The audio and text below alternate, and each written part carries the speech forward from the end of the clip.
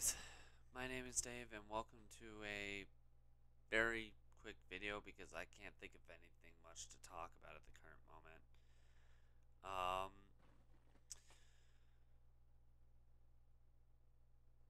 I don't know, there hasn't, there's a lot going on but simultaneously not, it really kind of just depends on the topic. The stuff that's going on I've already kind of discussed, but I'm not gonna go too much into detail about it at the current moment.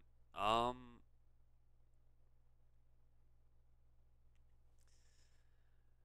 I have been thinking a lot as of late.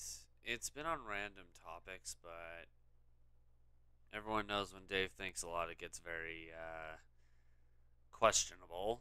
And not particularly Dave's in the wrong kind of way, but more in a sense where it's like, um, oh boy, what's gonna happen now, kind of thing.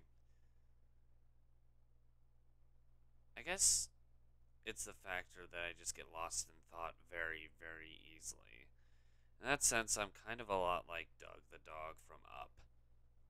Uh, as as humorous as that may be, in a manner of speaking, it is true. I think the only thing that's not the case is I'm not as repetitive, but in a way, I do get sidetracked about as easily.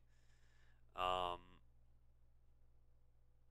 like, of course, when you first are introduced to the character, he says hi, starts explaining something, says squirrel, gets sidetracked, says hi, and then basically repeats everything he already said. I definitely get sidetracked as easily as the guy does, but I definitely don't repeat myself as often as Doug does. I don't know. Um, I guess the idea behind what I'm trying, what I was just explaining is more the factor that because I get sidetracked and distracted so easily, when I start getting lost in thought, who knows what's going to my head? Um, that's a very obscure way to phrase that, but I'm going to stick with it anyway. I don't know.